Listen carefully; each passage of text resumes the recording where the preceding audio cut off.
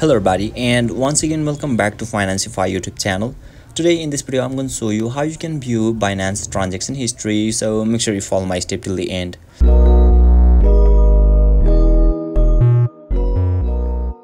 First thing first, I assume that you have already downloaded the Binance app and now once you open it and yeah make sure you are already logged in as well and now right after that you will be able to see the interface or dashboard of the Binance apps on in the screen where you can see there is a trade option. Just down below of this dashboard.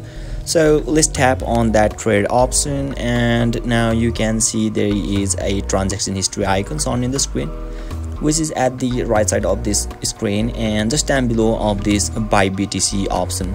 So let's tap on that transaction icon and now you can see there is a three options. First one is open order another one is order history and last one is trades history. So basically you simply need to be in this uh, trades history and you can see your transaction history in here successfully.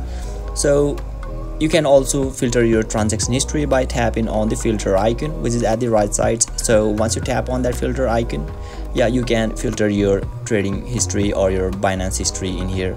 So basically this is how you can